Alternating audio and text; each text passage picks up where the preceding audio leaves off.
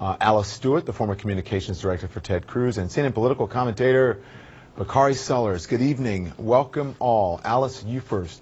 just 24 hours, uh, Trump has been tweeting about everything from Russia, North Korea, China, Guantanamo Bay. Uh, what do you make of how Donald Trump is handling foreign policy in 140 characters? Well, I don't see it changing. I think this has been his way from the very beginning of communicating his message directly to the people and oftentimes setting the narrative for those in the media. And despite uh, Chuck Schumer's uh, saber rattling today and saying we can't afford a Twitter presidency, I don't see it's going to change. And there'll be a high price to pay for anyone who tries to pry that uh, uh Twitter phone out of Donald Trump's hand because I don't see it happening. Hillary, you